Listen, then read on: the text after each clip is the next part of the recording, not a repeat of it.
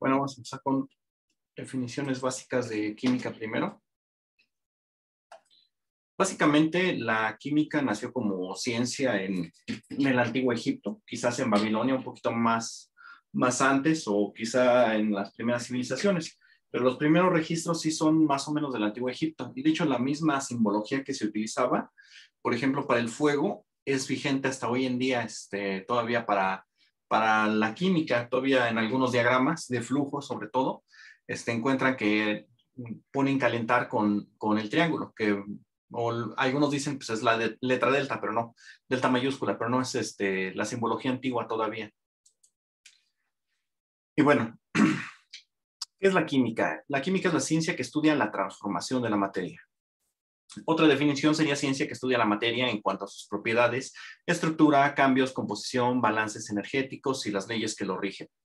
Otra definición ya un poquito más estructurada sería ciencia que estudia la composición, estructura, propiedades de la materia, así como los cambios que sufre la materia al reaccionar químicamente y la relación que conserva con la energía, no, sí, con la energía y la materia.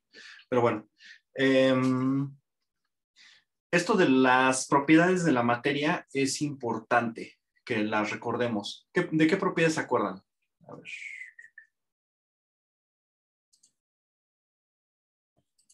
Masa, densidad. Mm. No, la, masa no es una propiedad tal cual, es. No, hay, pues propiedades que son este, intensivas. Hay propiedades primero intensivas y extensivas. Dentro de las propiedades, y también hay propiedades generales y específicas. Dentro de las generales se encuentran todas las propiedades que toda la, toda la materia comparte, independientemente de si, si estás hablando de aquí en la Tierra o en el espacio o cualquier punto del universo. Entre ellas, por ejemplo, se encuentra la impenetrabilidad, que dice que dos cuerpos no pueden ocupar el mismo espacio al mismo tiempo. Otra propiedad también muy general es, este, por ejemplo, la inercia. De hecho, la inercia es como que más física que, que, química. Y la inercia dice que todo cuerpo tiende a permanecer en estado de, de movimiento rectilíneo uniforme o estando estático a menos que una fuerza lo altere. Y todo aquello que presenta inercia, entonces por ende presenta masa y la medida de la inercia es la masa. Entonces, la masa como que tal cual no es una propiedad, sino que es una consecuencia de la inercia. Lo que sí es la, la propiedad es la inercia. Este, y bueno, dentro de las propiedades específicas se encuentran, por ejemplo, la conductividad, el color, este, bueno, más bien propiedades organolépticas que también son bastante específicas, como el, color, el olor, el sabor, la textura, este, entre otras. Em, y es importante porque podemos distinguir muchos, muchos este, tipos de materia por sus propiedades que presenta. Ahora vamos a continuar. Y bueno, entonces seguimos con lo que son los elementos químicos. ¿Qué son los elementos químicos? Son sustancias puras que no pueden ser separadas o descompuestas en nada más sencillo, porque simple, simplemente es lo más sencillo que existe. Son un tipo de materia constituida por átomos de la misma clase, todos y cada uno de ellos, que son aquellos que poseen la misma cantidad de protones y electrones. Por definición, si los átomos son de la misma clase, deben de tener la misma cantidad tanto de protones como de electrones. Y por ello, entonces, también comparten las mismas propiedades químicas y físicas. El semestre pasado ya vieron que para que sean los átomos de la misma clase, pueden variar en una cosa que aquí no estoy mencionando. ¿En qué pueden variar? En neutrones. En neutrones. Exactamente. Si entre los átomos lo único que varía son los neutrones, son considerados como del mismo elemento, pero ya tienen una ligera variación en sus propiedades físicas y a esto se les llama isótopos. De hecho, también eléctricas. Y puede tener entonces ligeras variantes en masa o en otras propiedades físicas o químicas con respecto al átomo del cual este, se toma como promedio. También menciono aquí algunas químicas, como por ejemplo la electronegatividad, porque incluso dos, dos, este, dos isótopos que sean similares pueden tener una ligera variación en electronegatividad y eso da distintas energías tanto de este para separar el compuesto o de, formación. Vamos, cambia, cambia, no, no tanto, espérame. Muchos de los elementos fueron descubiertos desde la antigüedad y ya se conocía que eran sustancias puras, porque no se les podía descomponer en nada más puro. Por ello se les daba un valor especial. Y entre ellas las encuentras prácticamente en casi todas las culturas. En todas y cada una de ellas encontraron este, algunos elementos puros. Por ejemplo, del, del antiguo Egipto, las famosas máscaras de oro. El oro se utilizaba mucho porque era un, que era un material bastante maleable, este, aparte de que soporta muy bien las inclemencias del tiempo. El bronce, no, bueno, este es cobre. El hierro, eh, este sí es cobre también algunos utensilios de hierro. Esta es plata, también este, cultura arábiga. El mercurio, aquí en, aquí en la Tenochtitlán, ya, ya ven que en, algunos entierros, bueno, no, creo que nada más en uno se ha encontrado, este, sus lindos ríos de mercurio subterráneo, elementos puros.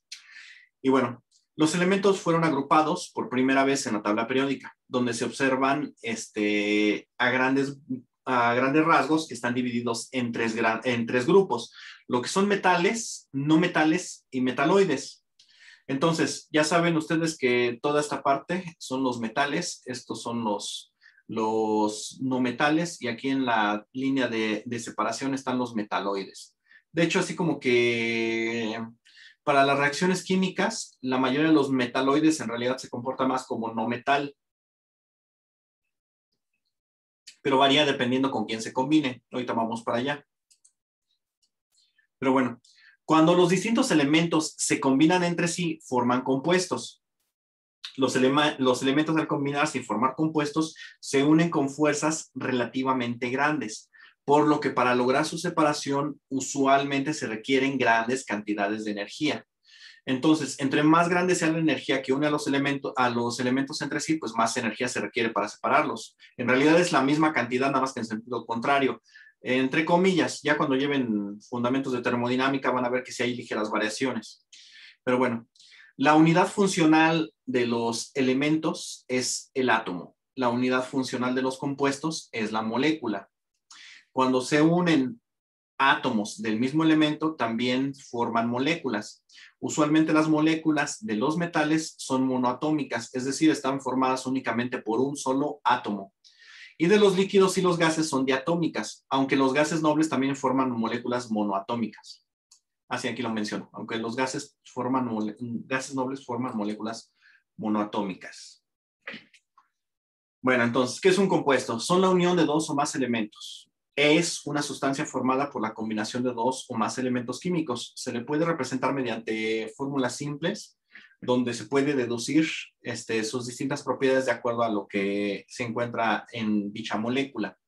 Los distintos compuestos se unen mediante fuerzas físicas que varían de intensidad dependiendo de la combinación de estos y por lo tanto algunos de ellos pueden ser separados mediante métodos que requieren poca energía, mientras que otros requieren grandes cantidades de energía para su separación. Y bueno, ya entrando entonces en los tipos de enlace, los enlaces químicos que existen son tres.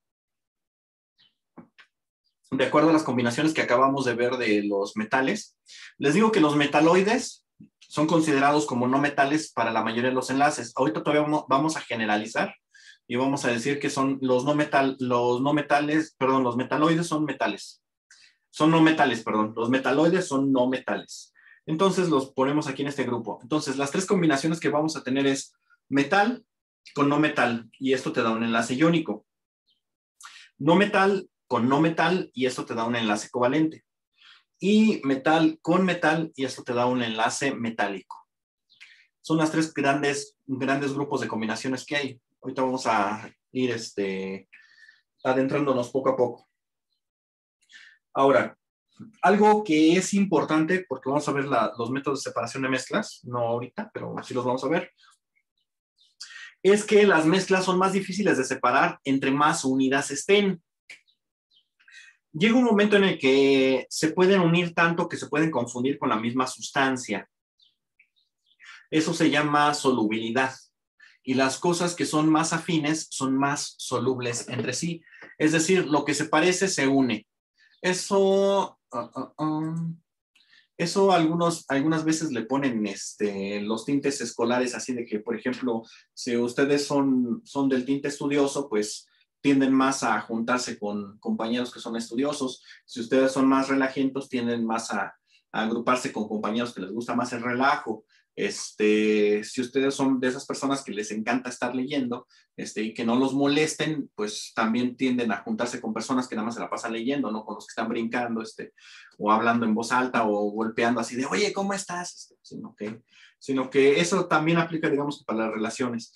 Este, esto, de, esto que, esta analogía que estoy haciendo con las relaciones también es importante con las moléculas porque algunos especialistas consideran que algunas fuerzas intermoleculares o moleculares, este, en realidad no son, no son fuerzas, sino son consecuencia de alguna otra. Este, como algunos enlaces lipofílicos, o sea, la, la unión entre dos moléculas de grasa, prácticamente esa, esa unión no existe tal cual, sino que es consecuencia de otra fuerza. Esto es como que un spoiler nada más. Ténganlo presente para más adelantito que vayamos a ver esa parte. Bueno, vamos a continuar. Y bueno, entonces, las cosas afines o parecidas son muy solubles entre sí.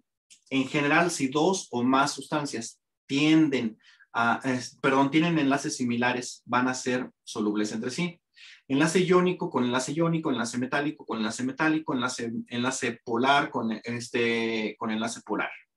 Entre más afines son los enlaces, más trabajo o energía se requiere para separarlos en las distintas sustancias que los lleguen a formar. Bueno, entonces vamos a entrar con, otro terreno aquí, lo que es el radio atómico. Esta es la tabla periódica, no completa, pero más o menos bien representada de todos los átomos este, más trabajados. Bueno, entonces aquí vemos hidrógeno y el helio. Eh, recordemos que este es el nivel 1, el nivel 2, el nivel 3, 4, 5, 6 y luego 7, ¿sí? Así sucesivamente. Entonces, en el nivel 1 nada más tenemos el orbital S. Entonces, el suborbital S. Entonces vemos que aquí el hidrógeno nada más tiene un electrón.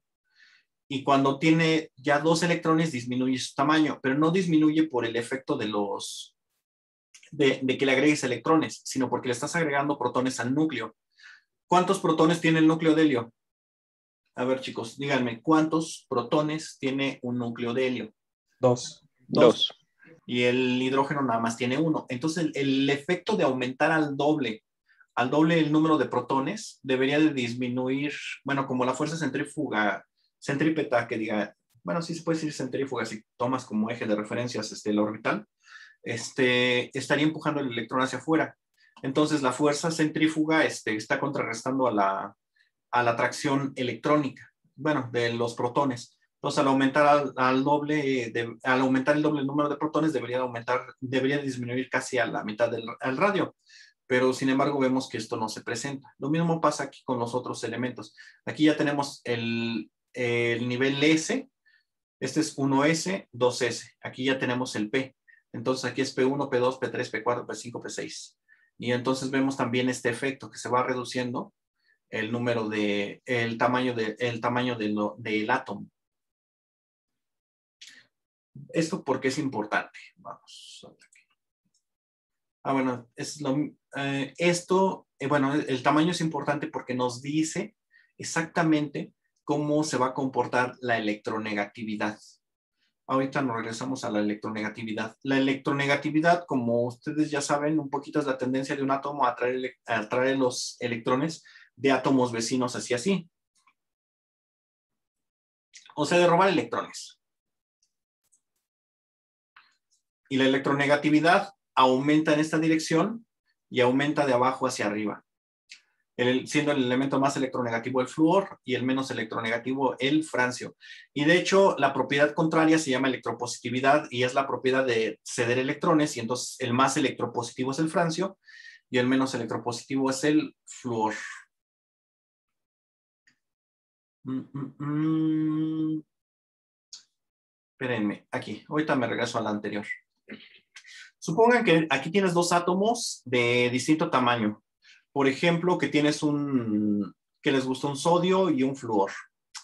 Entonces vamos a ubicar primero que nada sus núcleos. Ahí está, estos son los núcleos. Aquí está el núcleo del sodio y este sería el núcleo del flúor.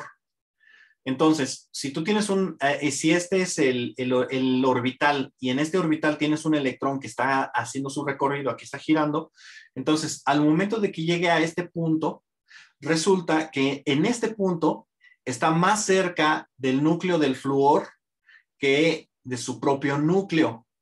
Entonces, ya viendo, ya este, viendo nada más este, las distancias, este, traslocando esto hacia aquí, entonces aquí estaría el electrón y tiene entonces dos, dos posibles decisiones o probabilidades. Que se vaya bien, que vaya a girar hacia el átomo de flúor o que vaya a girar hacia su propio átomo de nuevo. Pero entonces aquí vemos que primero el efecto de la distancia. Este núcleo está más cerca, este núcleo está más lejos. Y entonces, si ustedes fueran esta carga negativa, es decir, este electroncito, y este, ya tienen la premisa de que este átomo es, este átomo es de, su, de su familia, por así decirlo, entonces aquí hay tres cargas positivas que lo atraen. Mientras que si es el flúor, el litio, es, no es cierto, este no sería litio, sería, este, este no era sodio, tenía que ser litio para que fueran tres cargas positivas. El litio tiene número atómico de tres, perdón. Entonces, si este es litio, tiene tres cargas positivas. Mientras que si este es flúor, entonces en su núcleo tiene nueve cargas positivas. Entonces, si fueran este electrón, pues ¿para dónde se van? Donde hay tres que están lejos o donde hay nueve que están cerca pues la decisión hasta, hasta en términos humanos es más o menos evidente. Te vas a ir a donde hay más fuerzas este, de atracción. Y más o menos pasa lo mismo. Entonces, este, más o menos pasa lo mismo con los átomos que con las personas. Entonces pasa, pasa esto de que estos átomos son grandes, los que están de este lado son grandes, los que están de este lado son pequeños. ¿Por qué? Porque hay más más protones en su núcleo y están jalando entonces a los electrones con más fuerza. Entonces, estos, este, e, estos átomos, al ser mucho más pequeños, al estar unidos con alguno de estos átomos, le pueden robar sus, sus electrones este, con mayor facilidad. Y entre más grande es el átomo, estos átomos, más fácilmente puede perder sus electrones. Y estos entonces también, entre más pequeño es, más fácilmente puede robar electrones. Entonces, eso es lo que nosotros conocemos como la propiedad de electronegatividad, de la capacidad de robar electrones. Y es simple, simple y sencilla este, atracción electrostática. Ajá. Entonces, este, la electronegatividad juega un papel muy importante por el tipo de enlace. Cuando, cuando la diferencia de electronegatividades, vamos a la tabla de electronegatividades, aquí hay muchas tablas periódicas donde viene la, electronegatividad expresada. De hecho, esta no es la más exacta, está redondeada, este, pero, pero nos sirve mucho para darnos una idea de cómo funciona. Por ejemplo, ¿cuál sería la diferencia de electronegatividades entre enlazar el boro con el flúor? Ah, bueno, este tiene una electronegatividad de 2, este tiene una electronegatividad de 4. Entonces la diferencia es de 2. Pero, por ejemplo, ¿cuál es la diferencia de electronegatividades de enlazar que les gusta el nitrógeno con el cloro? Pues prácticamente los dos tienen la misma electronegatividad. Entonces su diferencia de electronegatividad sería cero. La diferencia de electronegatividad entre enlazar el cloro con el sodio Vemos que este tiene 3 y este punto 9, entonces la diferencia es de 2.1. Y entonces así nos damos idea de, de, qué tipo de enlace va a formar. Tomando en cuenta la diferencia de electronegatividades, restándole a la más grande le restas la más pequeña, entonces vemos que el, el enlace depende de eso. Entonces, por ejemplo, si tienes una diferencia de electronegatividad pequeña, menor a 0.4 normalmente, a esto se le llama enlace covalente no polar. Mientras que si tienes una diferencia de electronegatividad es ligeramente alta, alrededor de 1, 1 más menos 0.5 más o menos, esto se llama enlace covalente polar. Mientras que si la diferencia de electronegatividad es ya anda superior a 1.6, 1.5, entonces esto va a formar un enlace iónico. En los enlaces iónicos, como la diferencia de electronegatividades es muy alta, los electrones son robados por el, elemento más electronegativo. En estos no son robados tan, digamos, tan descaradamente o tan fácilmente. mientras que en este los átomos, los electrones no, no son robados. Los átomos van a compartir esos electrones de manera equitativa o casi equitativa, dependiendo del tipo de enlace. Entonces, vamos al enlace iónico. En el enlace, les digo que en el enlace iónico se presenta que vamos a, vamos a tener entonces un elemento que es muy electronegativo y uno que es muy poco electronegativo al momento de que se enlacen. Entonces, este, los electrones que, que tiene este átomo poco electronegativo van a ser atraídos hacia, lo, hacia los átomos más electronegativos y esto hace que formen cargas. Estas, este átomo se va a encargar entonces, se va a cargar negativamente porque tiene electrones extra este también, mientras que el que pierde sus electrones se carga positivamente. Ahora vamos a verlo más o menos a, tamaño de orbitales. ¿Qué es lo que pasa? Si tenemos el litio, que es un modelo muy sencillito, muy facilito, que les digo que su número atómico es de 3, entonces como tiene tres, protones en su núcleo, también tiene tres electrones en sus orbitales. Eso significa que en el nivel 1 tiene dos electrones y el tercer electrón lo tiene en el nivel 2. Si este electrón es atraído hacia el flúor, entonces, este, este electrón, al estar dentro de la, órbita del flúor o estando más cerca del flúor, entonces todo este orbital, digámoslo así, que no tiene un sentido de ser, no hay un para qué, si, yo no, si ya no hay un electrón este, girando aquí alrededor. Entonces, otro átomo que se aproxime no tomaría en cuenta que existe este orbital, sino con lo único que se toparía sería con este otro orbital, el que está más interior. Y entonces, esto hace que entonces el litio al combinarse disminuya su tamaño, aparentemente. Mientras que el flúor, al, tener otro electrón aquí, estos, los electrones que tiene en su periferia necesitan más espacio para girar. ¿Por qué? Porque este electrón también se va a repeler con los electrones que están aquí. Entonces, este orbital se expande. Entonces, esto da una, una ilusión, no, pues es, podemos, llamémosle ahorita ilusión óptica aunque sí es físico completamente, de que este se hace más pequeño al enlazarse y este se va a hacer más grande al enlazarse. Y entonces aquí vemos que la pérdida o ganancia de electrones hace que los átomos cambien su radio una vez que han sido combinados. Entonces, por ejemplo, vemos que el hidrógeno tiene este tamaño y una vez que se combina, que roba un electrón, se vuelve más grande. El litio cuando se combina, ese es el, digamos, litio con carga cero, litio con carga más uno, cuando, cuando cede un electrón, se vuelve más pequeño. Este es el belirio.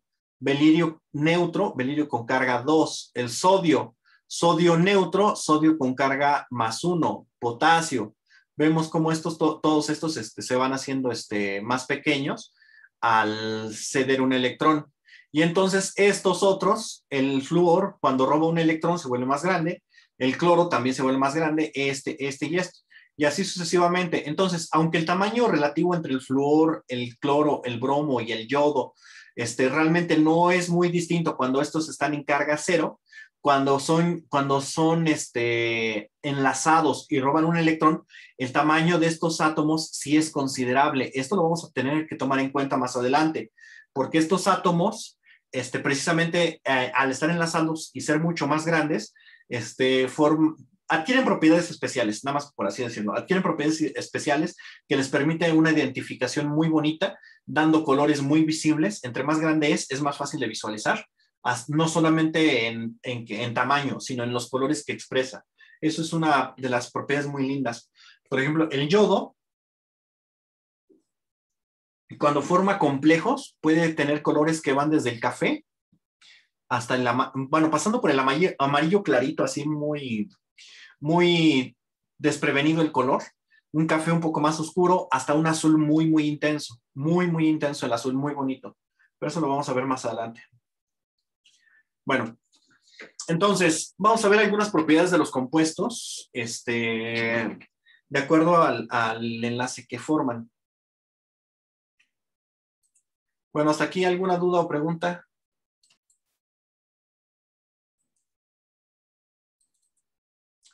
Y bueno, entonces, yéndonos al enlace covalente, el primero, de, el, enlace covalente existe de tres tipos.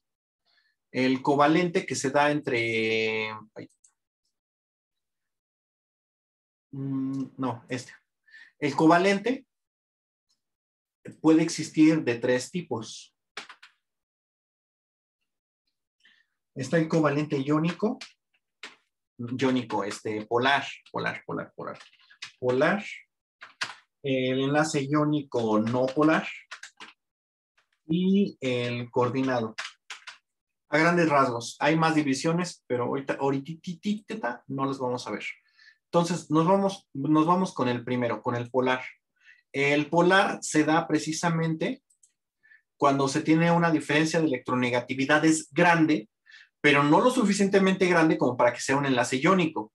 Aunque hay enlace covalente polar que rosa con el enlace iónico. Este, estos enlaces cuesta mucha energía poderlos romper, al igual que si fuera un enlace iónico. Pero bueno, hay covalente polar que también casi no tiene carga y también son relativamente fáciles de romper, como si fueran los enlaces covalentes no polares. Pero bueno, ahorita vamos para allá. Este, entonces, propiedades de los enlaces covalentes iónicos. Iónicos, ay, caray. Polares, sorry, lapsus brutus. Son sólidos a temperatura ambiente. Ninguno de ellos es de los... En... Pero es que si no, sí estaba bien, sí estoy bien, perdón, lapsos brutos. Bastante brutos, ya. Sí es enlace iónico. Los enlaces iónicos tienen estas propiedades. Son sólidos a temperatura ambiente. Ninguno de ellos es líquido o gas a temperatura ambiente. Esto significa que entonces, este, los, para, que esté, para que estén sólidos a temperatura ambiente significa que las fuerzas intermoleculares de atracción son altas, significa que se pueden atraer muy fácilmente entre ellos. Este, pueden ser, todos pueden ser duros. De hecho, algunos son tan tan duros que se vuelven frágiles. Esto, este concepto a lo mejor es medio extraño, pero por ejemplo, si ustedes compran un cuchillo que está muy, muy acerado, es eso de que esté acerado significa que está es muy duro el cuchillo hay cuchillos que son tan duros porque están tan acerados que si los dejas caer se rompen, se estrellan como si fueran de cristal, este, precisamente porque son tan duros que se vuelven frágiles. Este, y lo mismo les pasa a este tipo de compuestos al, que forman el enlace iónico. Algunos, que, algunos enlaces de metal con no metal son incluso frágiles de la dureza que llegan a presentar. Son buenos conductores del calor y de la electricidad cuando se encuentran en solución acuosa poseen altos puntos de fusión y de ebullición. Son solubles en solventes polares como el agua. Entonces, cuando pones un, cuando pones un compuesto este, iónico en un solvente polar como el agua eh, o algunos ácidos, se van a tender a disolver porque tienen, tienen enlaces afines. Forman redes cristalinas. La forma del cristal es geométrica, que puede tener varias formas, romboica, este, cúbica, hexagonal, este, tetragonal, etcétera este, pero forman redes cristalinas. Ahora sí, el enlace covalente. El enlace covalente es aquel que se efectúa por este, compartir electrones. Estos electrones, este tipo de enlace se da entre elementos no metálicos, donde cada elemento que participa en el enlace completa su octeto dependiendo del valor de diferencia de electronegatividades. Em, ¿Se acuerdan? Bueno, sí, cierto es que no les recordé lo que es la regla del octeto. La regla del octeto dice que todos los átomos van a querer tener ocho electrones en su último nivel de energía. Y se le llama del octeto porque se parece mucho a la, la regla del octeto de las notas musicales, la de do, re, mi, fa, sol, la, si, do. Esas este, se parece mucho el comportamiento de los átomos. Y cada ocho el elementos se repiten las mismas propiedades aproximadamente. Y bueno, entonces, este, dependiendo de la diferencia de electronegatividades, se clasifican como covalente polar, covalente no polar o covalente coordinado. Características de los enlaces covalentes. Entonces, los enlaces covalentes polares están basados en, en compartir electrones. Los átomos no ganan ni pierden electrones, mm, solo los comparten este, como la regla de la, de la materia, ¿no? La materia no se crea ni se destruye, solamente se aprueba en ETS o se recursa. No. Los enlaces covalentes no polares están constituidos por elementos no metálicos. Pueden ser este, de, de varios no metales y estos eh, estos átomos al enlazarse pueden tener un enlace simple, doble o incluso enlace triple. Ahorita vemos eso. Este, mientras que los enlaces coordinados pueden estar unidos por enlaces sencillos, dobles, triples, y por ello dependen de los elementos que los unan. Estos, estos pueden ser dobles, dobles y triples, estos también. La diferencia es que aquí normalmente los no polares se manejan entre átomos de la misma especie y aquí estos no. Ahorita vamos a ver algunos ejemplos. Enlace covalente polar. El enlace covalente polar, este, entonces se da cuando tienes una gran diferencia de electronegatividades. Yo les dije que el elemento más electronegativo es el flúor. Pero el segundo lugar lo ocupa y con, y digamos así, con orgullo, porque no hay ninguno que esté tan cerca al flúor, y es el oxígeno. El oxígeno tiene la segunda electronegatividad más alta de la tabla periódica, con un valor de 3.5. Entonces, cuando tienes una electronegatividad tan alta, que la diferencia sería de 1.4, esto hace que este átomo tenga una carga diferencial negativa. Pues esto de diferencial hace que se represente con la letra delta minúscula. Esta, esta, de hecho, esta delta, minús, esta delta minúscula, este, si la logran ver, si medio que la reacomodan, es, es de donde desciende nuestra D minúscula. Pero bueno, entonces, este hace que también tenga este una carga diferencial o carga parcial, más conocido como parcial, positiva, lo mismo que este. Esto hace que estos, que se formen, digamos, polos eléctricos en una molécula. Por eso se, se llama también enlace polar. El enlace covalente no polar eh, se da principalmente entre átomos de la misma especie, por lo tanto también se le llama homopolar o, este, o simplemente enlace covalente verdadero, entre otros nombres. Pero bueno, lo que hace es que los electrones comparten sus, los átomos comparten sus electrones y el par de electrones que comparten según la, la nomenclatura de Lewis, acuérdense que este, hace que representemos esto con, con, flechas que representan, con líneas que representan el enlace, mientras que los electrones de no enlace se representan así en la nube periférica. El enlace covalente coordinado. Aquí el par de electrones es aportado por un solo átomo. Los, los átomos o compuestos que forman dicho, dicho este, complejo eh, hacen que el electrón se deslocalice, así como, como suena, se deslocaliza, o sea, no sabes dónde está, entre varios átomos. El, por ejemplo, aquí, este, eh, si nada más tienes NH3, o sea, el nitrógeno con tres hidrógenos, esto es amoníaco. Pero si se le pega un protón, si se le pega un protoncito aquí, un, un, hidrógeno cargado positivamente, este protón se puede deslocalizar este, entre cualquiera de los átomos de hidrógeno. En realidad eso de que se deslocaliza, para, para fines de esta molécula específicamente, el nitrógeno tiene electrones de no enlace. Estos si, este, si este átomo tiene, si este átomo tiene este, una carga positiva entonces, estos electrones de no enlace se pueden acercar a este átomo, se pueden acercar a este átomo y aquí se quedan, pues digamos que de manera estable. Entonces, este, este otro átomo, que es el de nitrógeno, al perder electrones, se carga positivamente y entonces esta carga positiva puede estar rotando entre cada uno de los, de los distintos hidrógenos de manera tal que, este, que, que se, se, genera lo que se conoce como complejos de coordinación o un complejo de resonancia. las cargas se deslocalizan, quedan rotando o brincando de un átomo en otro. Normalmente para que se pueda dar necesitan estar unidos a otro que la estabilice, porque por sí sola no es tan estable. Pero bueno, esos son entonces los complejos de coordinación.